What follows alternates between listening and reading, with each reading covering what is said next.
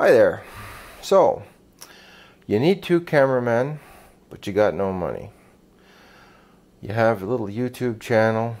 You're just trying to hold things together with a limited budget.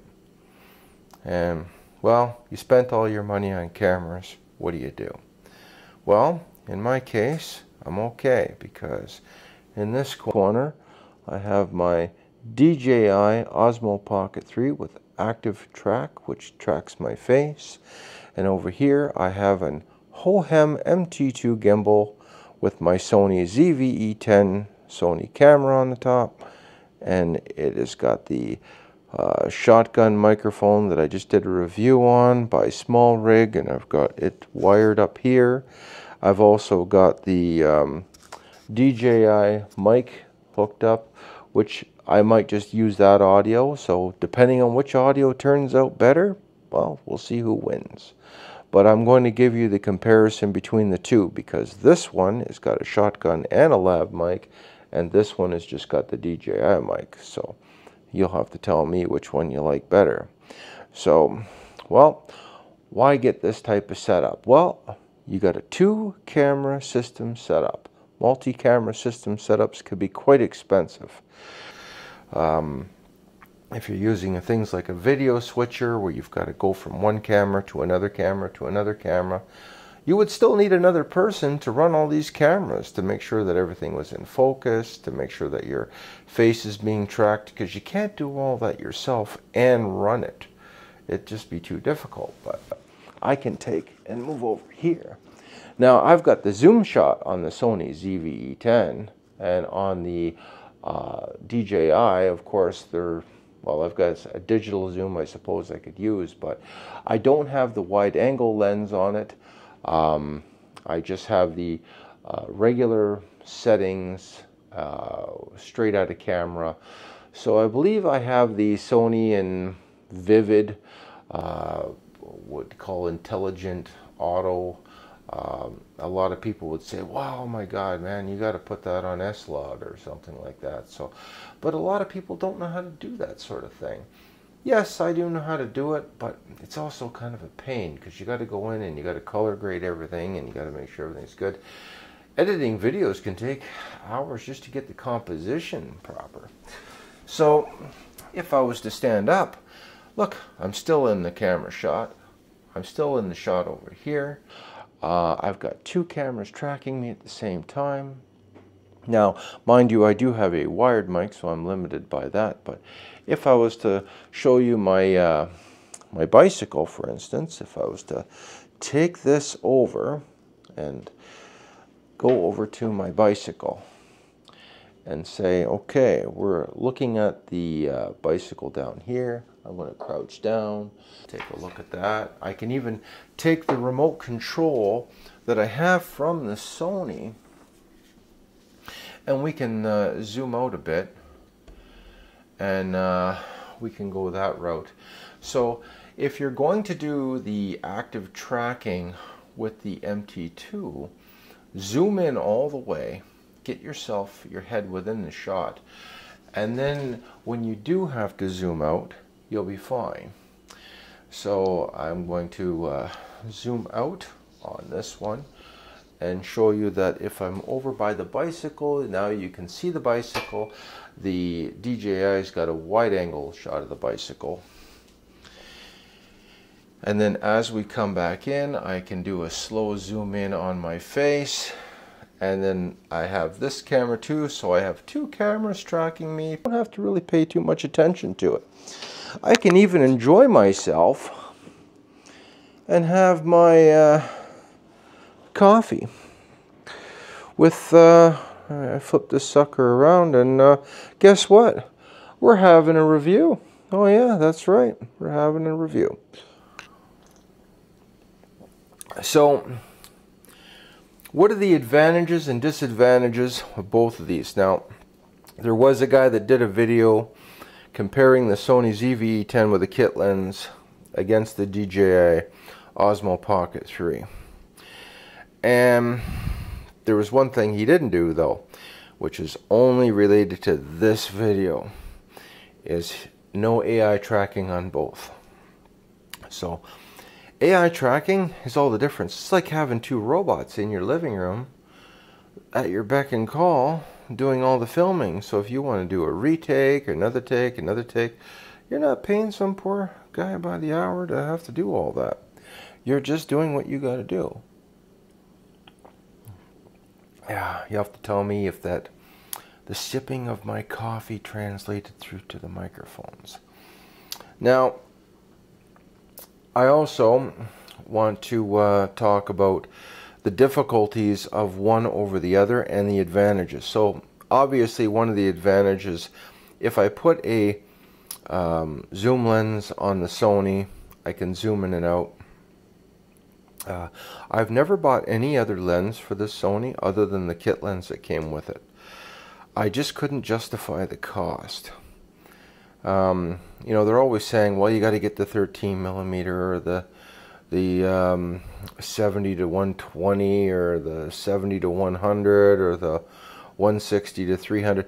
Now there is one lens, the the zoom lens, the 55 to 210, and on the crop it'd be more like 300. And that one might come in handy if you take your camera out and you really need some zoom. But other than that, hmm, you know, um, for what I've been using it for, you know, I have, oh, um, by the way, my new uh, softbox lighting is working out splendid. So if you look over here, just to show you, and I'm going to uh, zoom out a bit with the uh, with the Sony. Excuse the uh, the mess, but hey, you know, I am a real blue collar guy.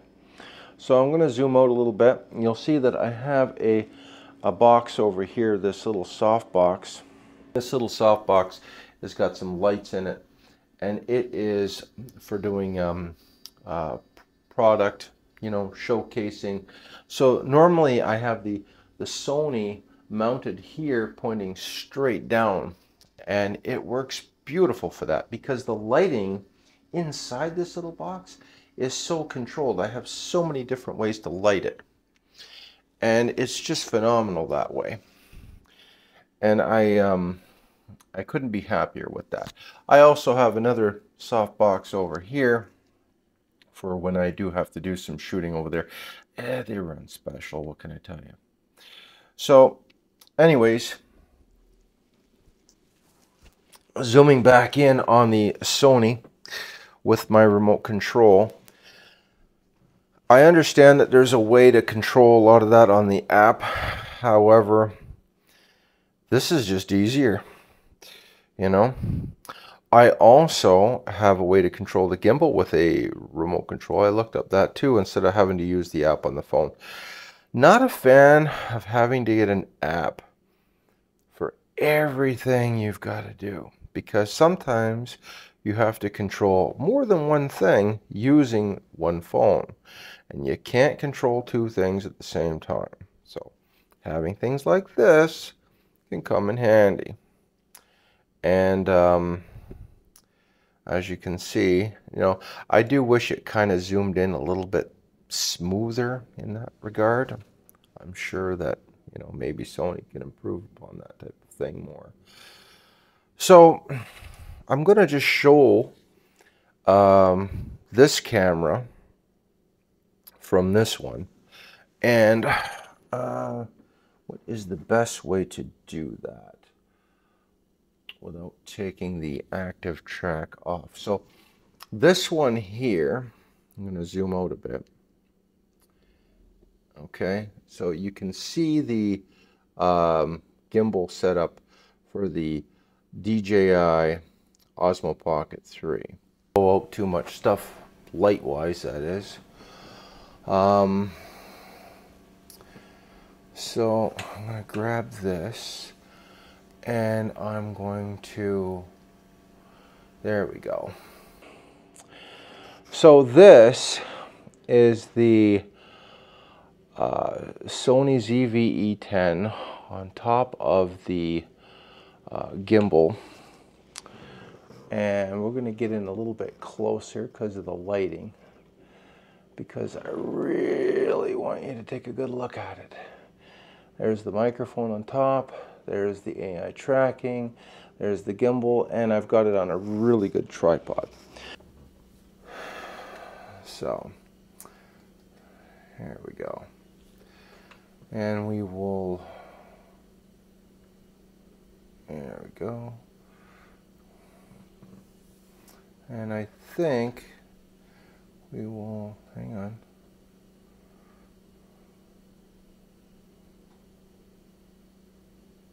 Okay.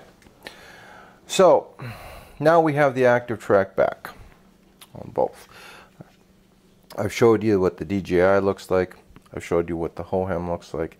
And by the way, I have a really nice uh, handle set up on it. That's uh, cords.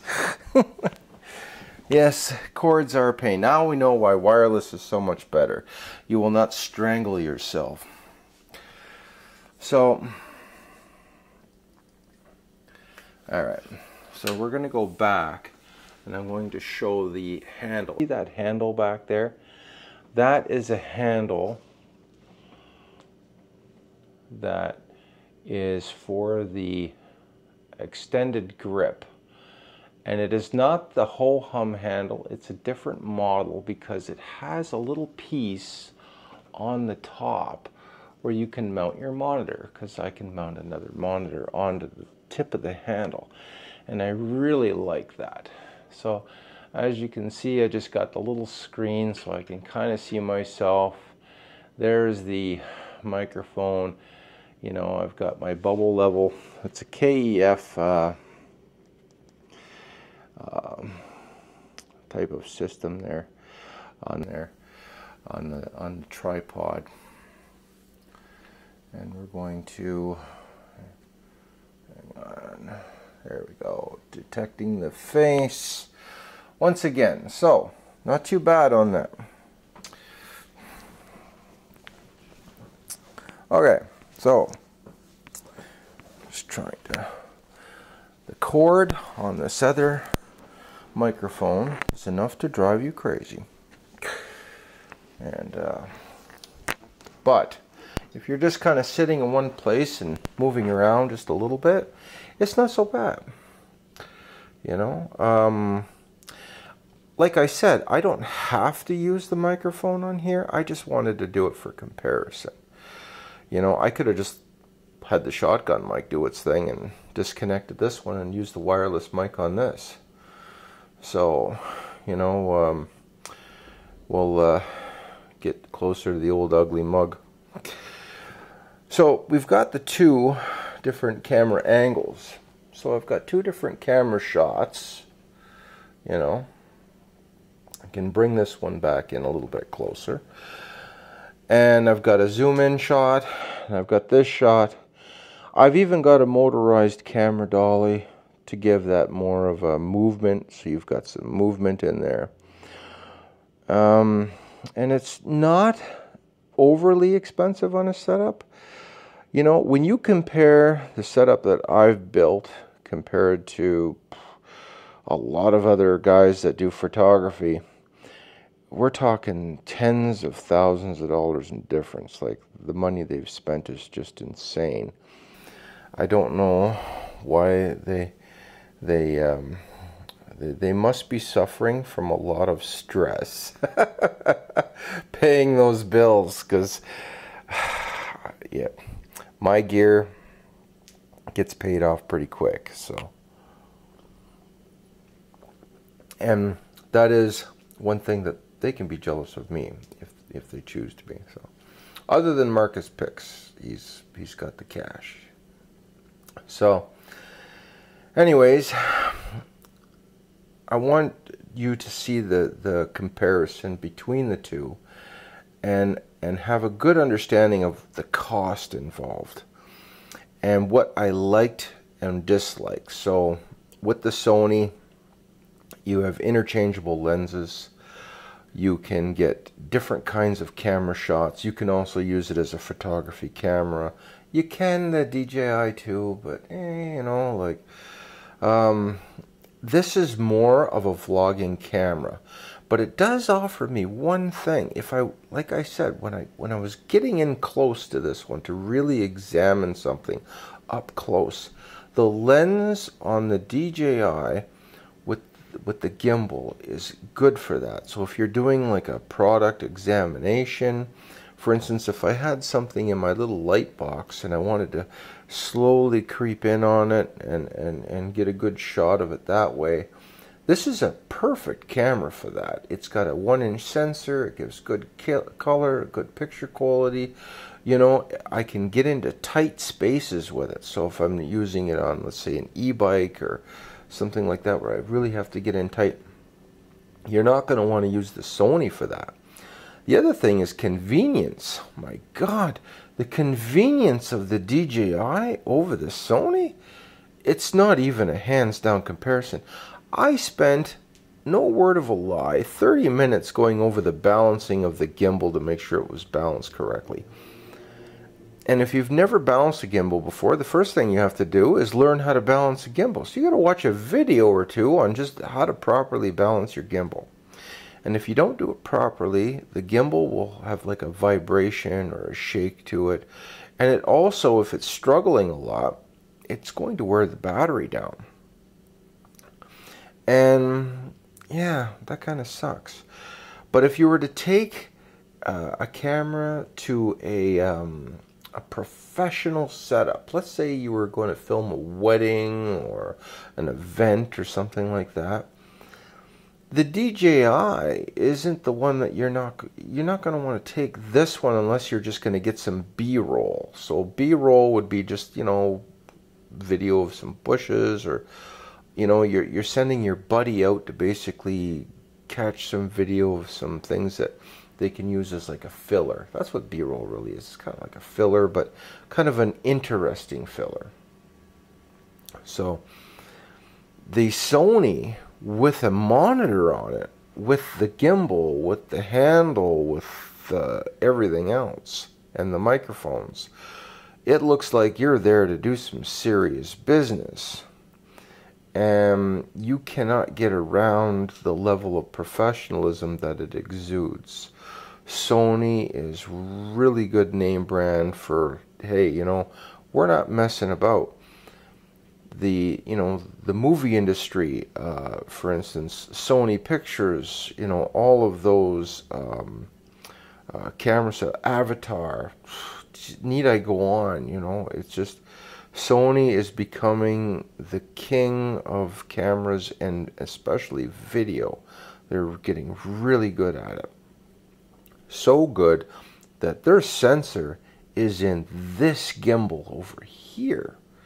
Okay, this is their one inch sensor, probably right out of their ZVE, ZV1, not ZVE1, but ZV1 but it's been upgraded to 10 bit because DJI, and I'm going to switch over to this camera now, has uh, acquired a company called Hasselblad, and I think you may have heard me talk about them before, but they had a camera on the moon, so they, when you acquire a company, you get their intellectual property. When you get their intellectual property, you learn a lot. You can advance your company in in years just in a matter of months. So you can get years of advancement within a few months because everything that they have figured out, you instantly know the answers to. So this is a good thing, you know, having these two cameras. I don't think I have any regrets at all. Especially that, you know, I can move over here. You know, I've got the camera in there. Oh, hang on. I Got the camera in there. Uh, this is what happens. You lose tracking. You can reacquire it easier with the MT2. You lose tracking with the DJI, you've got to go into the menu and you've got to reactivate it. So let's say I lose tracking. I'm going to give an example of that. So, you know, I know that we're kind of sidetracking here, but let's say, so if you're a hand talker, you can accidentally switch off the tracking. Now I can move out of camera shot. Okay. Now I'm back in camera shot. I move out of camera shot. I go like this. And then it's got me again. So, not a big deal. You could probably fix that in editing, you know. And um, I, I really like having both these systems. They, they offer um, a different characteristic. They're complementary. Better to have this than two of the same thing. But having cameras track you, so if you're moving around and you're just, you know, you need to you need to be tracked. You know, you want to you want to say, well, look, this is the remote for the new turntable that I'm going to probably show you in the future that lights up and product showcases things, you know. Um, this is a remote that I got with some cheap light that I got that can actually turn my phone and activate the um, the camera record on the phone. So, which is another versatile thing because this is where you know things get interesting. So, lost it. It gets interesting this way because I can put an action camera on that system. I can put uh, my phone on there and then I can upload a video much quicker because everything is going to be on my phone already than having to pull the SD card out, connect it to my phone, upload the video, and then edit it. That takes time. I will give credit to DJI for this.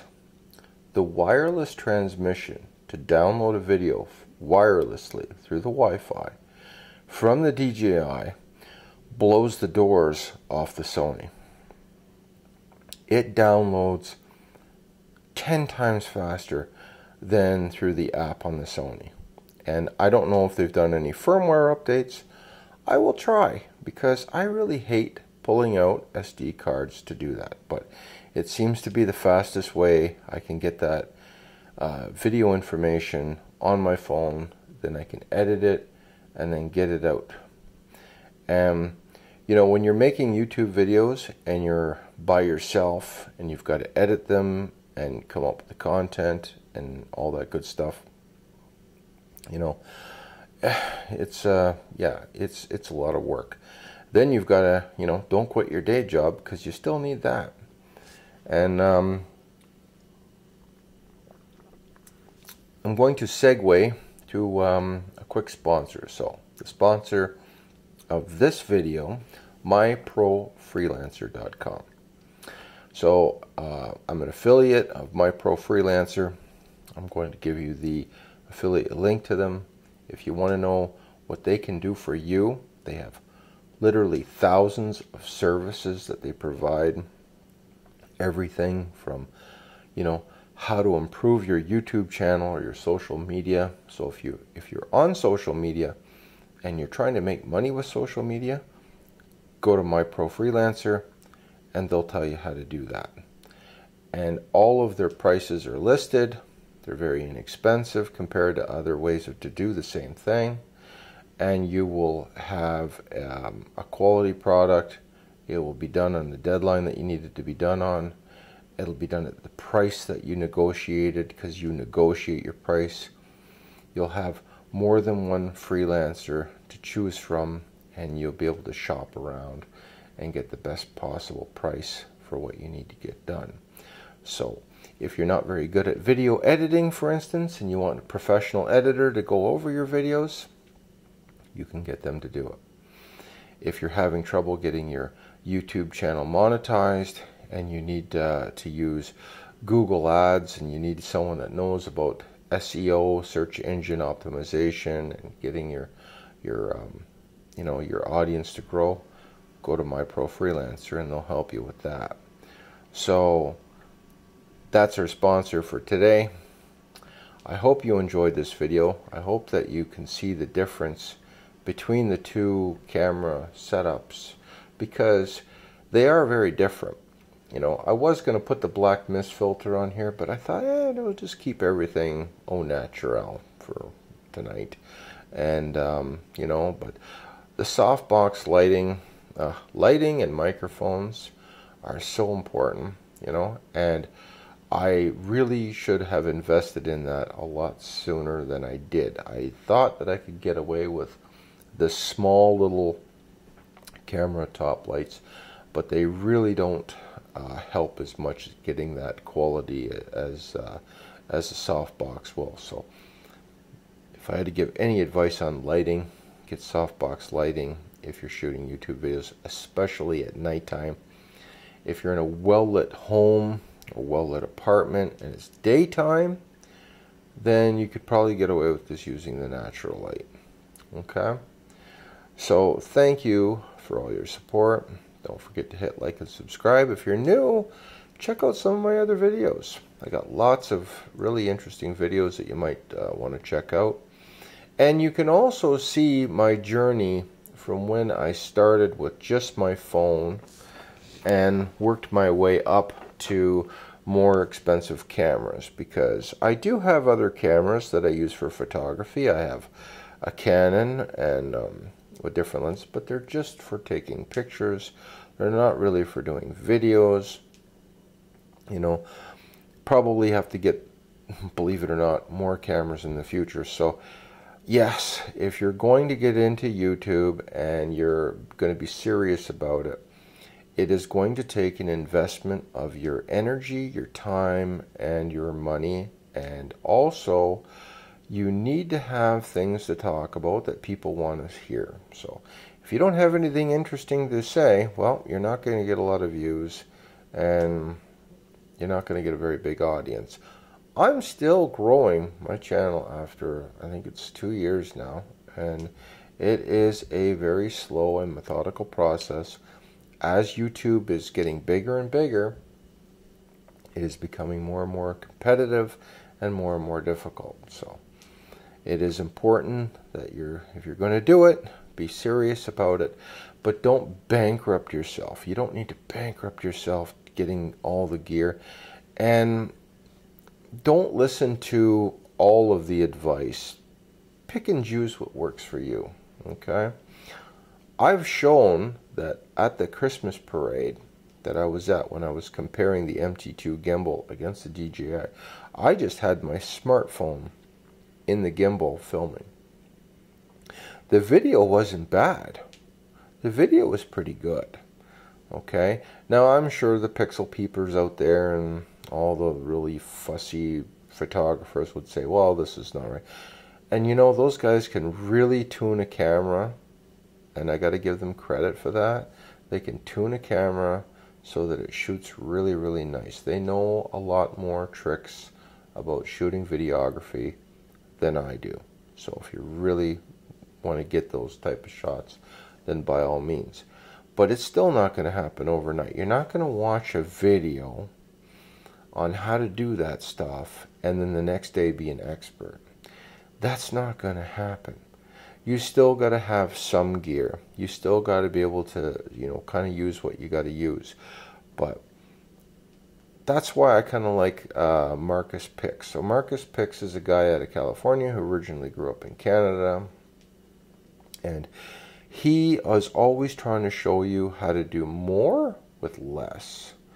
So and and that to me is very important. So uh, when you're a blue collar person, because that's who my audience is. My audience is the people punch nine to five.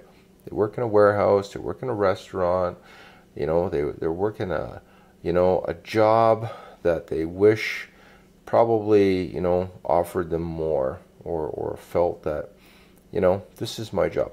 Now, don't get me wrong. I'm grateful for my job. I'm very happy that my bills are getting paid and and all the rest of that. But there's some things that you're always lacking when you have a certain creativity and passion for life. So it doesn't fill all the gaps, but it's good to have a job, better than not to have one, for sure. And um, so I cater to those people because A, they work really hard for their money, and they don't have money to throw around and experiment on, well, can I try this? Oh, this doesn't work. I'll try that. Well, that doesn't work. Well, when you're talking about cameras that can run you between two and three thousand dollars, say, well, the two thousand dollar camera didn't work out, so I'll try the four thousand dollar one, or maybe the ten thousand dollar one, or the you know, we don't got that kind of money to be throwing around to try this or try that. When you're talking about lenses, there's a guy out there, uh, Mark Wemmels, I think it is, yeah. Anyways this guy must have a collection of camera lenses longer than my body, you know? Like if you were to he's got a lot of camera lenses. And he has some really good ideas and he has he, he knows a lot about camera lenses. I really do enjoy watching his videos to learning about the camera lenses. But camera lenses can cost as much if not more than the camera. I've bought some expensive lenses.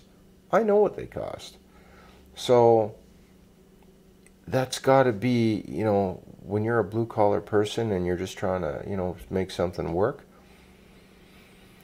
You know, hey, kit lens, you know, kit lens on this camera, I like it.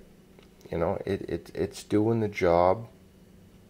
If I had some disposable money, would I get some of the other lenses? Yeah, I might try them out, but I kind of like the zoom feature I kind of like the, I wish it was smoother, mind you. I wish it was a more of a slower zoom. I'm going to see if I can't adjust that because I, I think it was on fast before, but I think this is the slow. So, but I wish it was more, uh, you know, gradual, like really slow when it zoomed in and out because it would be more cinematic, I guess, and just a lot more professional looking than than uh, going like this. Okay, see how it kind of jerks? Uh, it, I wish it was a little bit smoother, but you know, what are you going to do? It's not an expensive lens. Would I pay fifteen hundred to two thousand dollars for a lens that did a little bit smoother? Well, that costs more money than the camera. That doesn't make any sense. So you see where I'm going with this. This DJI Osmo Pocket 3, which everyone keeps calling a game changer, um, is kind of a game changer because of one factor is that the price of it and the value of what you're getting for your money is actually pretty good.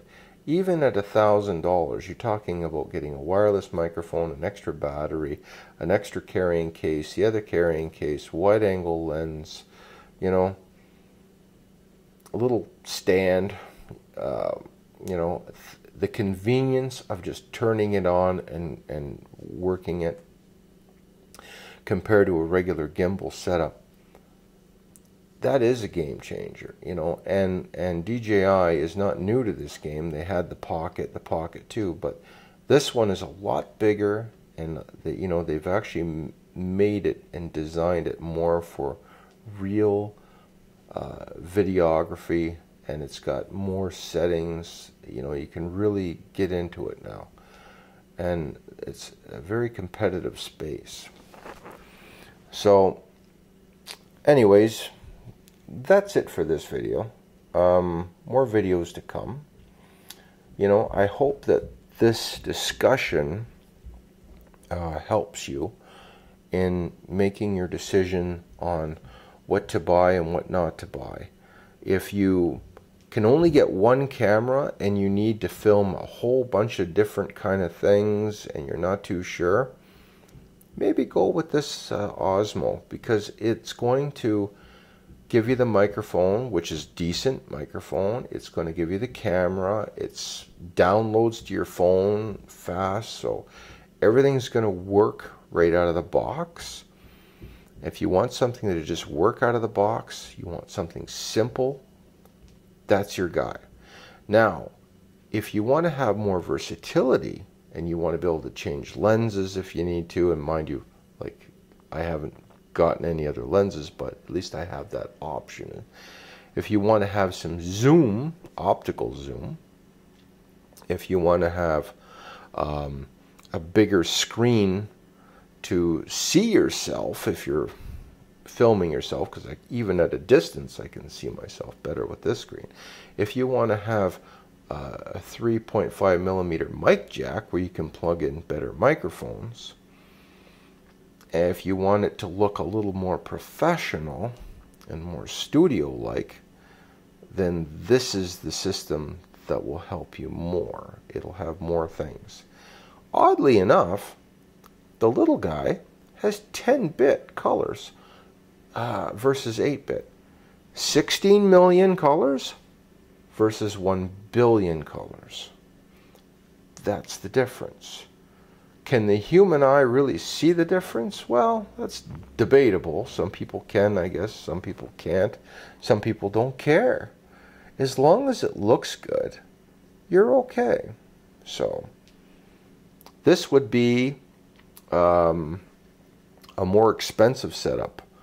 By the time you get done paying $900 for the camera, and then another 50 for that microphone, and another 400 because it's not on sale anymore for the, the gimbal, you're going to be looking at more money than this. And you'll have to buy the tripod. You'll have to buy the remote control for another $30. And uh, you're going to have to buy the SD card. By the way, you have to buy the SD card for this one. This one takes 512 gigs. So, but you can get a little closer it's a little more versatile. So pick your poison. Really think about where you're going to start. If I was really just going to start and I was going to film myself, this one. If I was going to film a lot of other things and maybe need it for photography as well, then I'm going to go with the Sony. So it's it's really, you know, on the edge, you know. But um, you could even get several of these little guys that take up a lot less space. That's the other thing too. The footprint on this, nothing compared to that. You know, uh, you could have five of these little guys tracking you. You could sync this mic up to probably all of them at once. I don't have the money to buy another one to see if I can do that, but I'm sure that I could link this microphone up to more than one, possibly at the same time. And even if I couldn't, I can still use the audio from one and just put it over top of all the other overlays. So, yeah, there's a lot to know. It's not cut and dry anymore. There's a lot of gray. So, anyways, we're going back and forth between the two cameras just to show you what that's like. And I hope you enjoyed that. And I really enjoyed making this video and the other ones that I've been doing. Uh, during the holidays, got a lot more exciting things to show you. And uh, I, uh, you know, I think 2024, I know a lot of people complain about 2023. Well, 2024, I think, is going to be the year where things kind of turn around for a lot of people. So I, uh, I'm feeling good about 2024. So if you had a bad 2023, never fear, 2024 is coming right up. So take care, be safe at work, and I'll see you at the next video.